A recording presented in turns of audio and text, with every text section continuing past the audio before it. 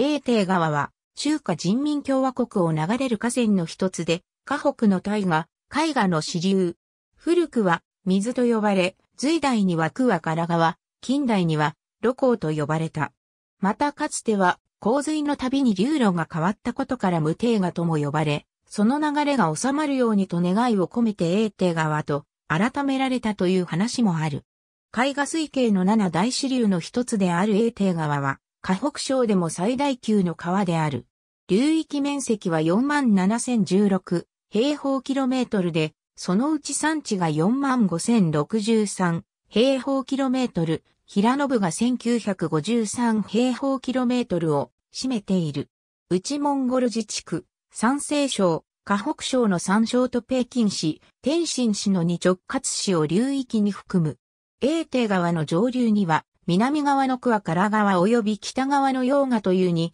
大支流がある。内モンゴルから河北省に流れてきた両支流は、カルガン口市府所来県の主関東で合流し、英帝川と名を変える。桑唐川、洋河、英帝下流域は、カルガン口市域南部の農村地帯を形成する。北京市北部の遠境圏から流れる水の川が合流し、カルガン口市南部の平野にある干潮ダムのダム湖を経て山岳部に入り、干潮山峡という峡谷を通過する。主関東から干潮までは 30km、干潮山峡の総延長は 108.7km に及ぶ。水が流れている時の英帝川。露光橋上より北京市の西、門東港区の山野店で河北平原に出る。ここから北京市の西南郊外を通り、天津市で海外に合流し、渤海に入る。山野店から渤海の河口までの延長は 200km。